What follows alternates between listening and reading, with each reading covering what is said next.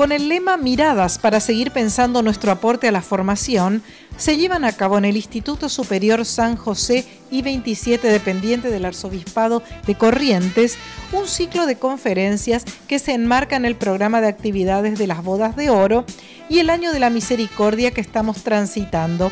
Estas imágenes corresponden a la charla sobre violencia de género y trata de personas que tuvo como disertante a una investigadora activa en la materia, como lo es la hermana Marta Peloni, que se explayó sobre la temática y respondió a la requisitoria de los presentes. La próxima cita será el miércoles 28 de octubre con la presencia de Carolina Gandulfo y el tema a tratar será el guaraní en nuestro contexto social y educativo. Cabe consignar que la semana anterior, en el inicio del ciclo, la temática versó sobre Somos nuestras relaciones, ¿quién es el otro para mí? siendo el disertante el profesor Juan Emert.